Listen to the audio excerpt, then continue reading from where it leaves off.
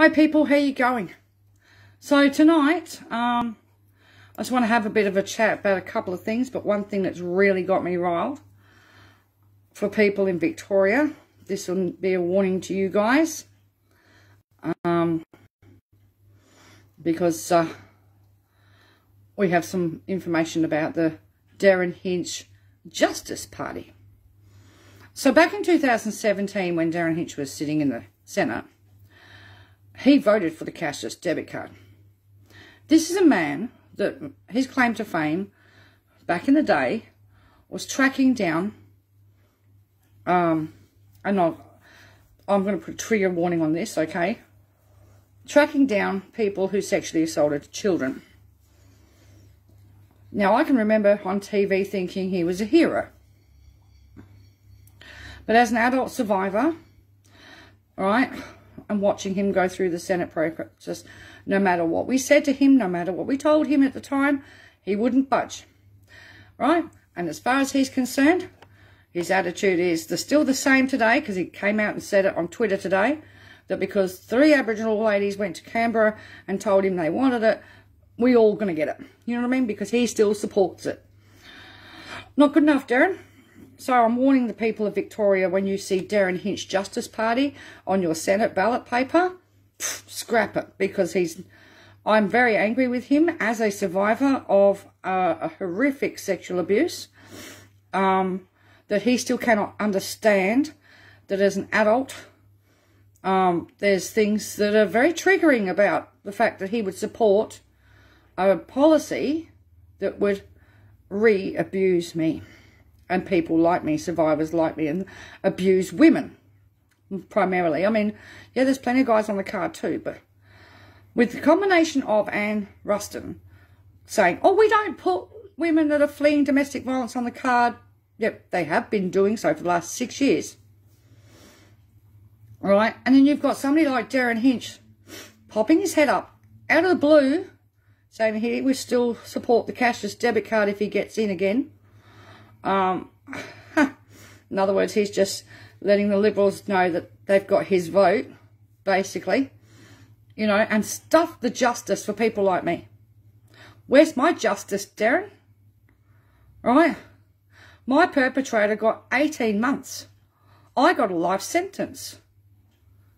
Right? You know, so...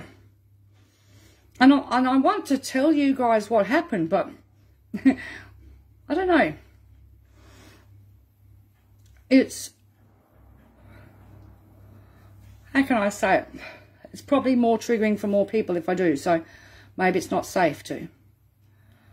But the loss of control at the hands of a perpetrator stays with you for life. The thought of being forced onto a cashless debit card and having to pick up the phone to some 20 year old something Serco worker who's got control of my life. Again. Right? I'm sick to death of these men that think they can just write legislation that controls women's lives primarily. I'm not forgetting the guys that are on the card, please don't get me wrong. But the majority of people, right, um, that are on the card are women and they are abuse survivors of all sorts. They are sole parents. They are carers. They are women on disability support. Right? And yeah, it just, it is so hypocritical of him. You know, because he was a man, was, his catch cry was shame, shame, shame. But there's no justice for us is there? There's no justice, is there, Derryn? For the survivors. You know? In one way, I outlive the bastard. That's the only justice I've got. Right? That's the only consolation I've got. Is that I know that I outlived the bastard that got me. But that's not enough, in my opinion the damage was done. But to support a program that takes away the person's soul is soul destroying is is abuse. Uh, you know, I feel like saying, what are you, another narcissistic control freak? Because that's exactly what it comes across as. You know, he's got offended at a couple of comments that have been thrown at him this afternoon on Twitter. Too bad, so sad, Derryn. You know, it's nice and triggering to know that all of us out here, right, that have got our own issues to deal with are for sale in your eyes and you're going to keep supporting a private company and the corporations and the Liberal Party. All right? It's just disgusting. Emma Jane, a woman in your Centrelink Mum support group, was being put on the cash on the card, hasn't moved to a new area or anything. It's just disgusting. Can you send me more details about that, please, Emma Jane? Um, what region are you in? Yeah, private companies have more rights than women in the LNPIs. Absolutely. Dollars above people any day of the week. That's all it is. Dollars, dollars, dollars. All right? And damn the, the damage it does. They don't care. Yeah, I think I've had a gutful of the, what, what would you call it? The misogyny today. Because I'm watching... um that woman Grace getting absolutely pummeled by the right-wing media. Oh, and Pauline's chipped in her two cents worth as well, right? Having a go because, you know, she was supposed to smile for the Prime Minister. Seriously? Seriously? Why? Oh, smile, dear. Don't look like a misery. Do this, do that. Put a face on. Put makeup on. Be nice. Be sexy. Be this. Be that. Be everything they ever they all want. But don't be honest. No, she was honest. She was honest in that photograph, and good on her. You know what I mean? You know, having to shake his hand, and then they're trying to encourage you to smile. Why should she friggin' smile? What's he done for us women? You know, he set this policy up and got it in motion. You know, that's not helping us. You know, that's not, yeah. You know. Oh, so they're all getting upset now. You know. Conservative politicians line up to berate. Oh, this is disgusting. So news.com, she did not mask. Good on her. Yep, she didn't put the pretty little mask on that they all expect us to wear all the time. Good on her. And I wouldn't either, but I wouldn't have even shaken his, I wouldn't have shook his hand. Because when I blank somebody now, I blank them properly. I would not have wanted to shake his hand. It was good on her for standing. So Australian of the Year Grace Tamers returned fire at her critics after an icy meeting with Scott Morrison sparked national media coverage. All right. Um, she made her comments on Instagram I'm just reading it here because, you know, certain Conservative MPs, McGrath and that, called her childish and immature. Right? You know, because she was hinted she was making a political point with her body language, posting an image from the satire website Betoota Advocate and stated women woman faces backlash for not pretending everything is okay. Precisely. She's copying it because she didn't pretend it was all all cool and normal right? You know? Yeah. And she said she was surprised they let her in even. You know? Why should anybody have to pretend?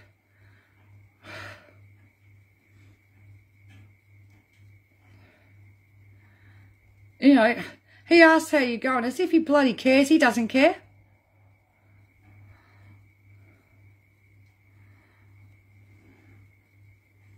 You know, why does she have to pander? So, Liberal Senator James McGrath criticised her childish behaviour, suggesting she should hand back her award. Absolutely not. You know?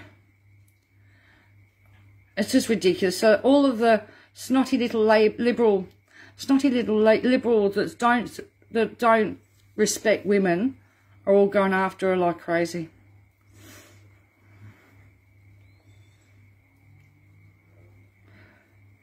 You know, saying that she's surly, childish, disgusting and lacking in manners.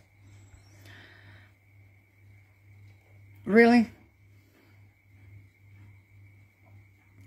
You know, and then another one turned around and said, um, she was ungracious, rude, and childish, refusing to smile for the cameras. Why should she? She's not a frigging puppet. You know?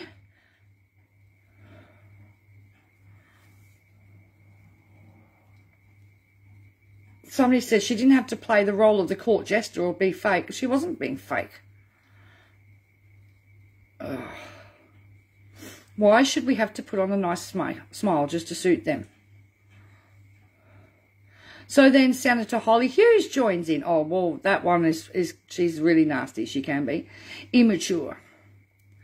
And one of the comment, one of the things I saw was Pauline's chimed in now. Pauline Hanson's chimed in, but I haven't seen her comments as yet. You know.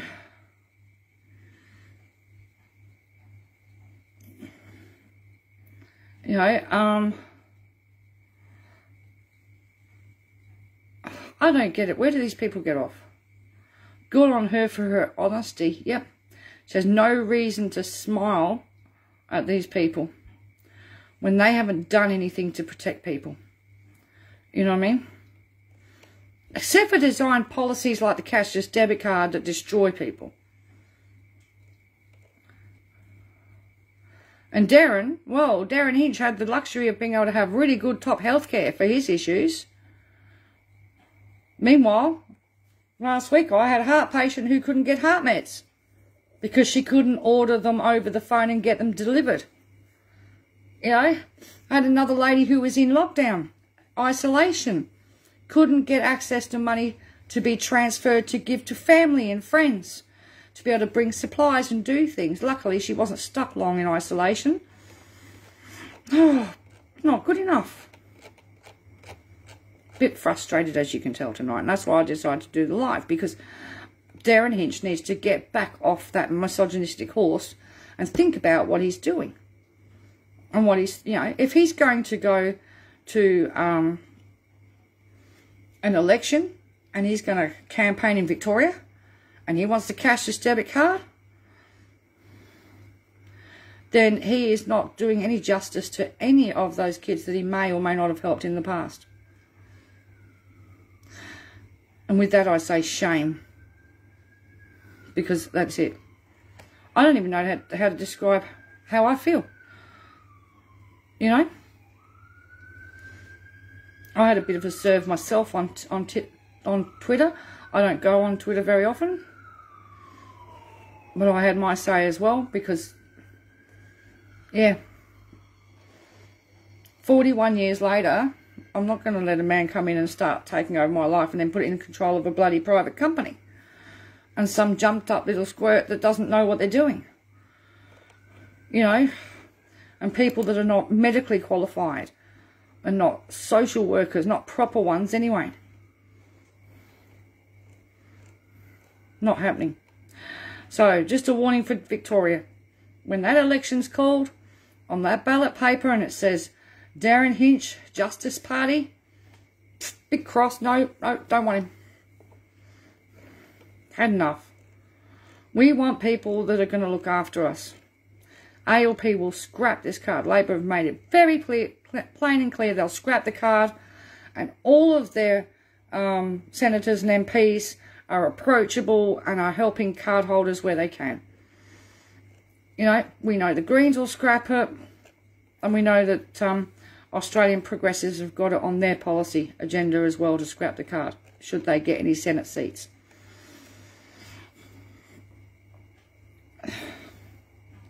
You know?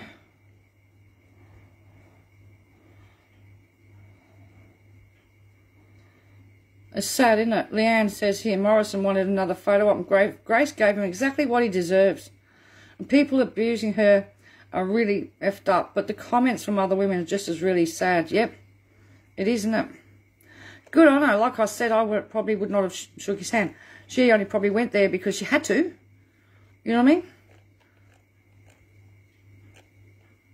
I, you know, To have to go in front with a man who has not done anything to help women in the last 12 months, made snide remarks when women stood up for themselves at the Millions March, whatever it was. You know what I mean? Put women on and children and carers and cashless debit cards, killed 16,000 aged care people waiting. you know, defunded and took away so much money from domestic violence. Good on her. Yep. Grace is a legend. Absolutely. And only the right-wing nuts would bloody have a go at her. And that's what they're doing, is they're ramping up their, their misogynistic nasties. Oh, good on her. Like I said, I probably wouldn't have shook his hand. At all. Ron, it's too early. Ron says I'm looking flushed. It's rather hot up here at the moment. Um, I've been out. I'll just come back from the shop. It is really hot. And there's no, I don't have any air conditioning, so yeah. I love that. Have you taken your meds? You're looking rather flushed. It's too early to take my tablet. And it's my blood pressure tablet, people. Oh. Yeah. I'm just so annoyed. Anyway, we'll just keep going the way we're going. And hopefully Albo will be our PM in about four or five months and then we can get rid of this bloody card once and for all. People can get their rights back and get their dignity back. Alright, and women will be treated a hell of a lot better under an Albanese government. I can guarantee you that.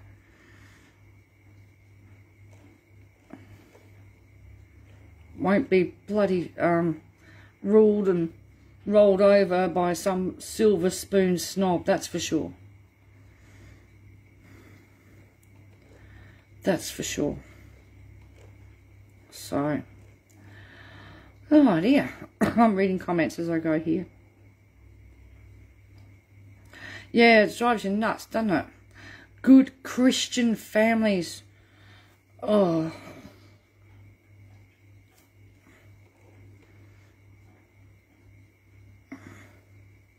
Yeah, Albo grew up with a single mum, you know, will treat us better than Scummo. That's right.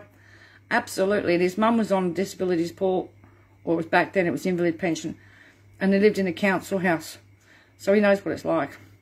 And one of the things he said at his conference today, at the news press conference today in Canberra, was how um, basically the poorest and the people with least are the ones that help the most.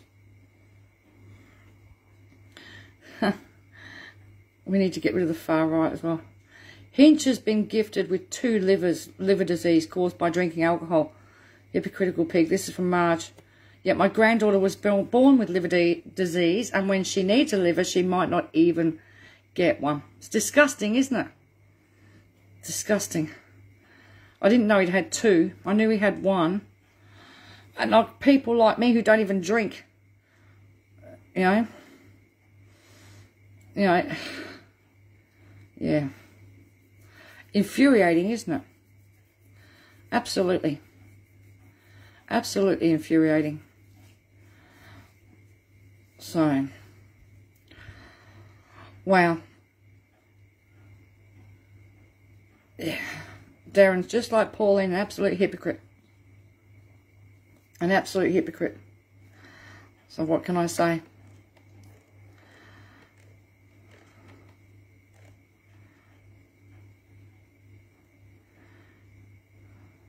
I'm just looking at comment.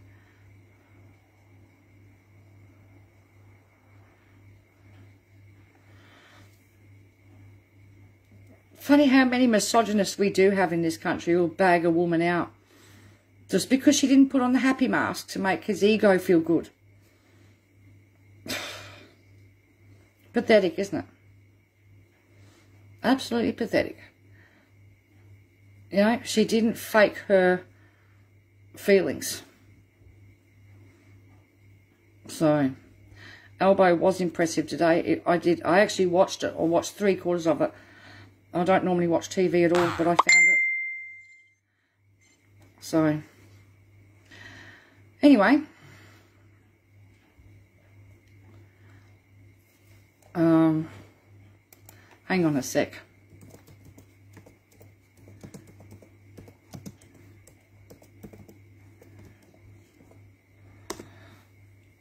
Oh, yeah. Yes. All right, people. Well, I'll get off. Um,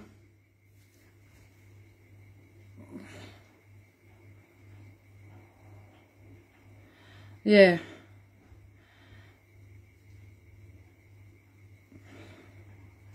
I'm just...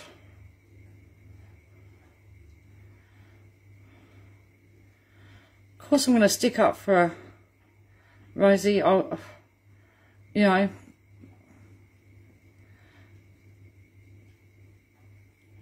why should people have to um, put on a mask to appease someone else's ego? It's not fair. Anyway, so I put up a post earlier.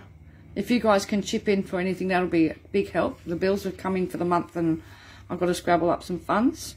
Um, and um, yeah, the website needs more bandwidth we're getting more traffic than we expected and uh, yeah so that's the fees for that have gone up and if you want to get a shirt I've got plenty of shirts left um, and stickers and badges but I've only got three coffee cups left so at the moment I can order more but yeah if you want a shirt badge